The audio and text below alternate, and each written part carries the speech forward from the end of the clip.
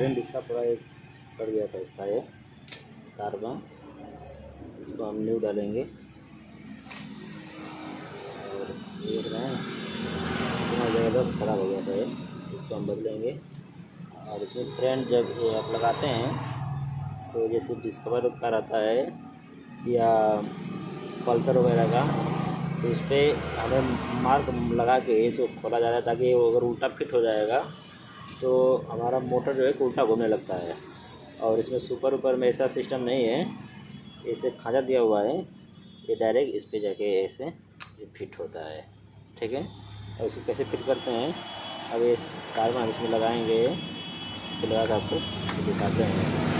इसका मोटर है। ठीक है?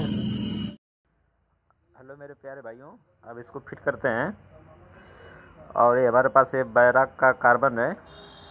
ये भी फ्रेंड ओरिजिनल आता है। इसे भी आप लगाएँगे तो कोई प्रॉब्लम नहीं होगा जल्दी से ख़राब नहीं होता है ये भी।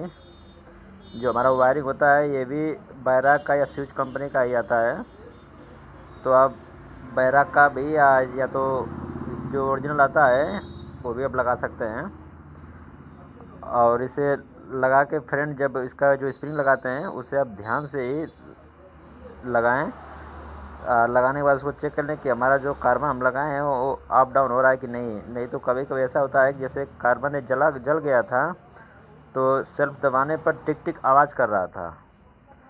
तो ये फ्रेंड हम इसको पैक करेंगे, जिसके अंदर एक वार्सल आता है। पहले वार्सल को लगा के इसके बाद स्क्रू को टाइट करें। और इसके अंदर एक, यहाँ से अर्थिंग वाला भी काम करता है तो वहाँ से आप उसको वाला स्क्रू जो है कि इसे अच्छे से टाइट करके ही लगाएँ। नहीं तो सेल्फ काम करेगा, लेकिन बरोबर काम नहीं कर पाएगा वो। तो जब भी आप लगाएँ तो ध्यान दे के लगाएँ। और फ्रेंड इसमें जो अभी इसमें जो नई बाइक आ रही हैं सब होंडा की कुछ बाइक हैं, कुछ बजाज की, कुछ हीरो की तो उसमें आई टच करके सेल्फ दे रहे हैं लोग कंपनी से। जो जैसे हम सब दबाते हैं तो खर्द आवाज़ करता है तो इसमें ये सब नहीं हो रहा है। जैसे अपना टी वी एस का ये एक्सल हंड्रेड हो गया, उसमें कोयल से ही कनेक्शन कर दिए हैं। और जैसे हम बटन दबाते हैं तो ऐसा लगता है कि अभी बाइक स्टार्ट नहीं हुई है, लेकिन स्टार्ट हो जाती है। तो अब ये मोटर का जो सिस्टम था, वो कुछ कंपनी ने रिमूव कर दिया है। और ये हमारे पास सुपर का है सेल्फ जो है कि ये रिपेयरिंग कर रहे हैं हम। और इसको अच्छे से लगा के और थोड़ा जो इसका सब रहता है अंदर फ्रेंड, इसको ग्रीसिंग करके और ये जो कटा हुआ है, इसे देख कर ही लगाएँ। ये अगर उल्टा हो जाएगा फ्रेंड तो हमारा मोटर जो है, जब लगाएँगे तो उल्टा नाचने लगेगा। फिर हमें वापस खोलना पड़ता है। इसी तरह इसको आप देख के ध्यान से ही लगाएँ, क्योंकि इसमें तो उल्टा हो नहीं सकता। जो हमारा अपाची या पल्सर डिस्कवर में जो रहता है, बीच का ये जो मैग्नेट ये इस पर मार्क लगा के इसको लगाया जाता है ताकि ये उल्टा ना हो, नहीं तो फ्रेंड खोलने में बहुत परेशानी होती है। जब कोई काम हम कर लेते हैं, फिर करने के बाद अगर कोई इसमें प्रॉब्लम आता है तो फिर कि अच्छा नहीं लगता है, दोबारा मेहनत करना पड़ता है, फिर खोलना पड़ता है, फिर सही करना पड़ता है।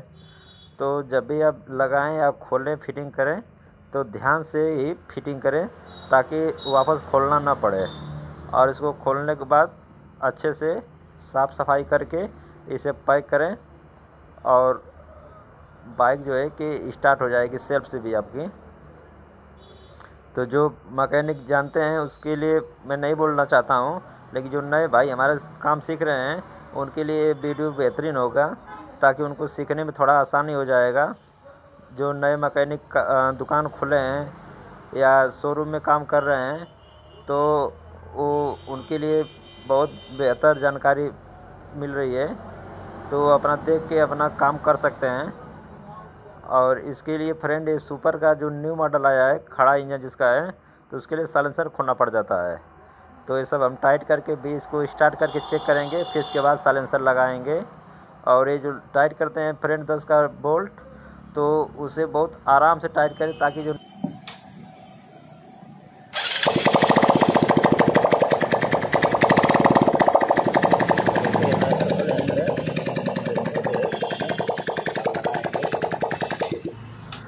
हमारा मोटर काम हो गया फ्रेंड तो इसी तरह आप भी आराम से इसे कोई भी बाइक का मोटर हो, आप काम कर सकते हैं।